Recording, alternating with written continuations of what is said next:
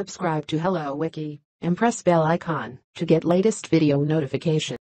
नमस्कार दोस्तों, आज एक ऐसा ज़बरदस्त टॉपिक आपके सामने लाया हूँ कि ये सुन के आपके होश ज़रूर उड़ जाएँगे। चाँद एक खूबसूरत ग्रह है राइट इस खूबसूरत चाँद अगर नहीं रहेगा, मेरा मतलब गायब होने की बात नहीं कर रहा हूँ, बल्कि आधी पद के लिए झगड़ने वाले इंसान अगर चाँद को उड़ा देंगे तो क्या होगा?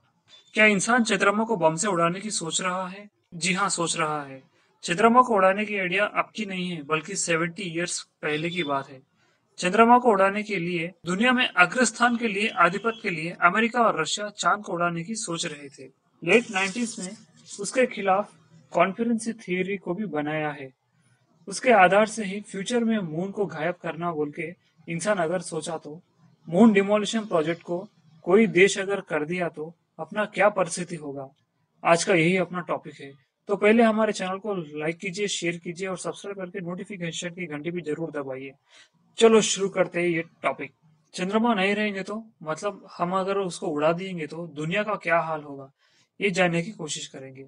चंद्रमा अपना भूमि के सबसे करीब है जो एक छोटा ग्रह the one and only natural satellite अपने धरती को रात के समय रोशनी देने वाली चाँद अर्थ के ऊपर नेचुरल बैलेंस देने वाली उपग्रह है वो।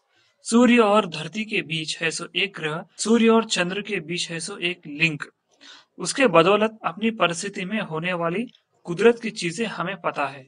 चाँद सिर्फ़ रोशनी ही नहीं, बल्कि ठंडी की राहत भी देता है हमको। रेनिंग, विंटर, समर सीज़न, ये सब नेचर की बैलेंस करता है चाँद। समंदर के लहरें मेघों से बारिश, स्नोफॉल और जो स्नोफॉल गिरने के बाद नहीं पिघलना, वैसा काम भी चाँद ही करता है। क्या आपको पता है? ये सच है। चाँद ही इन सबको बैलेंस करता है अपनी धरती पे। मेलो स्पोर्ट्स डॉट कॉम दोस्तों, जैसे हम जानते हैं कि dream eleven my circle eleven hala play जैसे बहुत सारे फैंटेसी गेम्स के वेबसाइट है राइट ऐसी वेबसाइट बनाने में कम से कम तीन से लेकर चार लाख रुपए का तक का खर्चा होता है। लेकिन मेलो स्पोर्ट्स डॉट कॉम ऐसी वेबसाइट सॉफ्टवेयर आपको सिर्फ़ फिफ्टी नाइन डॉलर से प्रोवाइड करेगा, माने सिर्फ़ चार हज़ार पाँच सौ रुपए में। इसको खरीद कर आप अपना खुद का बिज़नेस स्टार्ट कर सकते हैं, जैसे की ड्रीम इलेवन पूर्णिमा के दिन समुद्र के लहरों की तादाद ही बेस्ट एग्ज़ाम्पल है, जो पूर्णिमा के रात समुद्र बहुत हलचल करता है। सिंपल तरीके से बोलना है तो बिना चाँद के धरती नहीं रह सकता। प्रकृति नहीं रहेगा, जनजीवन नहीं रहेगा no moon no time no life इतना इम्पोर्टेंट चंद्रमा को अगर उड़ा देंगे तो क्या होगा सोचिए। असल क्यों उड़ाना चाहते थे हम लोग? अपने धरती और चाँद के बीच तीन लाख चौरासी हज़ार चार सौ किलोमीटर दूरी है। उतने दूर में है, सो चाँद को एटॉमिक बॉम्ब डाल के उड़ाना क्या पॉसिबल है? साइंटिफिकली भी तो पॉसिबल है दोस्तों। अब है सो टेक्नोलॉजी से थोड़ा बहुत ट्राई कर सकते हैं। फ़िलहाल तो मून लैंडर्स प्रयोग सक्सेसफुल हो रहे हैं ना। हज़ारों टन के सैटेलाइट्स को हम मून पे उतार के देख रहे हैं। सो मून अटैक बोलने वाली बात इम्पॉसिबल नहीं है। पंद्रह मेगा टन की वज़न वाली नौ हज़ार एटम बॉम्ब की प्रयोग करेंगे तो मून को डिस्ट्रॉय करना बड़ी बात नहीं है, बोल के साइंटिस्ट बोल रहे हैं। एटॉमिक पावर के बहुत सारे देशों में पूरी तरह से पंद्रह हज़ार से भी ज़्यादा मोस्ट डेडलिएस्ट वेपन्स है हमारे दुनिया में। उन सबको ले जाके मून पे डालेंगे तो मून को आसानी से उड़ा सकते हैं। लेकिन ऐसा करने में बहुत खर्चा भी होता है। असल में चाँद की जन्म बहुत इंटरेस्टिंग की बात है। धरती को मार्स सर्च की एक एस्ट्रोनेट ने आके टक्कर लगाया था। उसके टक्कर से ही चाँद की जन्म हुई है। जाइंट इम्पैक्ट और हाइपोथिज्म के अनुसार वे यही बताता है। तो अपने धरती का टुकड़ा ही चाँद है। अगर चाँद को डिस्ट्रॉय करेंगे तो क्या होगा? सूर्य और धरती के बीच चाँद घूमते रहता है, ये हम सबको पता है। ग्रह के सेकल डायरेक्टली धरती को ना लगे जैसा चाँद ही है जो धरती का रक्षा करता रहता है, क्योंकि धरती पर अंतरिक्ष से बहुत सारी चीज़ें गिरती रहती है।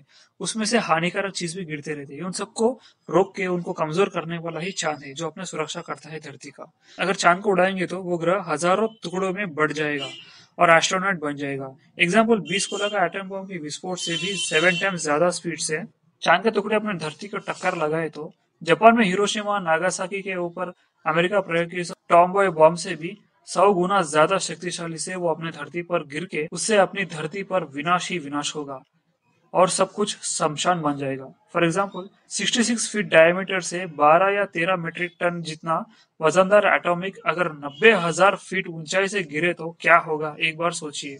अगर एस्ट्रोनॉट अगर समुद्र में गिर गए तो ज़्यादा डैमेज नहीं होगा, लेकिन वही धरती पर गिरे तो सब तबाह हो जाएगा। कि चाँद का टुकड़ा एटम बम से भी 27 टाइम्स ज़्यादा डैमेज करेगा। ऐसा होगा कि जैसा हमारा धरती पर आके गोले की बारिश हो रही है, तब एक जीव भी नहीं बचेगा यहाँ पर। अगर ऐसा हुआ तो धरती पर हीट वेव्स बढ़ जाएँगे। समुद्र को बैलेंस करने वाले चाँद नहीं रहेगा तो रात्रि नहीं रहेगा। उससे डे नाइट भी नहीं रहेगा। सूर्य के किरणों से भूमि हीट हो जाएगा।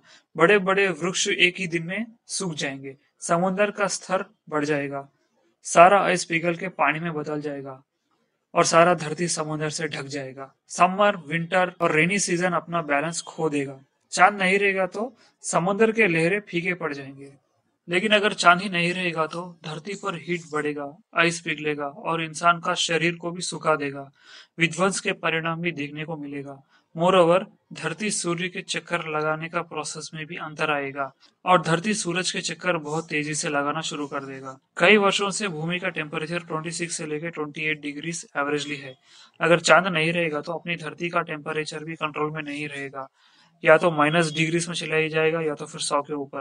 अगर सूर्य से कंपेयर करें तो चाँद 400 गुना छोटा परिणाम में होता है, पर फिर भी सूर्य के किरणों से धरती पर डायरेक्टली गिरने से रोकता है। चाँद और धरती के बीच गुरु प्रकाश की शक्ति के कारण समुद्र में लहरों की उत्पन्न होती है। अगर चाँद नहीं रहेगा तो समुद्र में लहर की तादाद 104 गुना ज़्यादा बढ़ जाएँगे। अगर वही हुआ तो समुद्र में बड़े बड़े शिप भी डूब जाएँगे। सूर्योदय और चंद्र उदय से हम 24 घंटे के टाइम को नापते हैं। धरती और चाँद के बीच हर साल 1.7 इंच की दूरी बढ़ता है। असल चांदी नहीं रहेगा तो एक दिन को 68 आवर में गिनना पड़ता है। मतलब धरती स्लोली घूमता है। हमारा धरती को एक साल पूरे करने के लिए 365 डेज़ होते हैं ना। तो चाँद नहीं रहेगा तो एक साल में 1250 दिन रहते हैं दोस्तों। फ़िलहाल की सिचुएशन में सौ साल के परिश्रम को 2.4 मिली सेकेंड के हिसाब से लगाते हैं। तो उसके हिसाब से दिन में 24 घंटे लगता है। महीने में 30 दिन, साल में तीन सौ पैंसठ दिन होते हैं। चाँद नहीं रहेगा तो सूर्य ग्रहण और चंद्र ग्रहण भी नहीं रहेगा। चाँद नहीं रहेगा तो उससे भी चौदह हज़ार गुना ज़्यादा प्रकाशित वीनस, माने शुक्र ग्रह, धरती को बचाता बोल रहे हैं अपने साइंटिस्ट। इस टॉपिक को दूसरी बार बात करेंगे, फ़िलहाल तो इसके बारे में डिस्कस करेंगे। चंद्रमंडल से धरती को कितना फ़ायदा है, ये तो हम सबने पता कर लिया है। लेकिन 1959 में अमेरिका ये पागल काम करने के लिए रेडी हो गया था। 1950s में अमेरिका और सोवियत की लड़ाई अपने चाँद को थ्रेट के जैसा बन गया था। 1957 अक्टूबर फोर्थ को स्पुतनिक नाम से अंतरिक्ष प्रयोग करते जीत हासिल हुई थी सोवियत रशिया को। Luna one, Luna two, Luna three, Luna four बोल के लाइन से सैटेलाइट को भेजा था सोवियत ने। उसे अमेरिका को जेलिस फील हुआ। उस वक्त अमेरिका दुनिया में सबसे नंबर वन स्थान में रहने के बावजूद भी अंतरिक्ष में नंबर वन स्थान के लिए ये पागल काम करने के लिए सोचा था। मतलब चाँद को मारकर सुपर पावर बनने की सोचा था अमेरिका। उस सोच से पैदा हुए सो ही project A one one nine. Secret research flight के अनुसार चाँद को उड़ाने के लिए एक हाइड्रोजन बम को तैयार किए थे। वज़न ज़्यादा होने के कारण एटम बॉम्ब की प्रयोग करने की सोची थी अमेरिका ने। लेकिन मून डिस्ट्रॉय हो गया तो उसके टुकड़ों से धरती पर गिर गया तो इंसान का क्या हाल होगा? सारा दुनिया के सामने एक दोषी की तरह ठहर जाएगा अमेरिका। वो थोड़ा पीछे हट गया। तो A one one nine project को डेवलप करने के लिए चाँद को डिस्ट्रॉय करने का प्रोजेक्ट लियोडर रिफिल ने बनाया था और उसको अमेरिका प्रेसिडेंट चाँद को उड़ाने के लिए ग्रीन सिग्नल भी दे दिया था। इसीलिए अमेरिका के चरित्र में एक पागल प्रेसिडेंट के नाम ले लिया था होवर। तो चाँद पर अपने आधिपत्य बनाने के लिए दुनिया में कई देश प्रयत्न कर रहे हैं और फ्यूचर में उसके वजह से युद्ध भी होंगे, ये कहे जा सकता है। लेकिन दोस्तों, आप क्या कहते हैं? अगर चाँद को उड़ा देंगे तो क्या सही होगा? कि आधिपत के लिए इंसान इतना घटिया काम कर सकता है, अगर करेगा तो उसका परिणाम क्या होगा, ये भी मैंने आपको बताया है। तो मैं आशा करता हूँ ये वीडियो आपको ज़रूर पसंद आया होगा। कमेंट बॉक्स में ज़रूर अपना राय दीजिए और इस वीडियो को लाइक कीजिए, शेयर कीजिए, नोटिफिकेशन की घंटी भी ज़रूर दबाइए और अगले वीडियो के साथ हम फिर आपके सामने होंगे। तब तक लिए गुड बाय, धन्यवाद, टेक केयर और चंद्रमा को बचाएँगे।